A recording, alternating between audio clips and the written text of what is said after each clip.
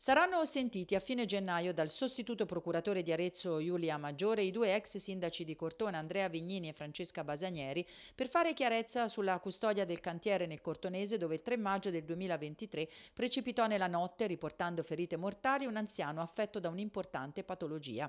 Secondo quanto si apprende il cantiere relativo ad una casa in costruzione nel 2011 e nel 2016, anni in cui si riferiscono esposti circa la mancata custodia e l'abbandono dello stesso, sarebbe stato attivo come dimostrerebbero fotografie scattate sul posto.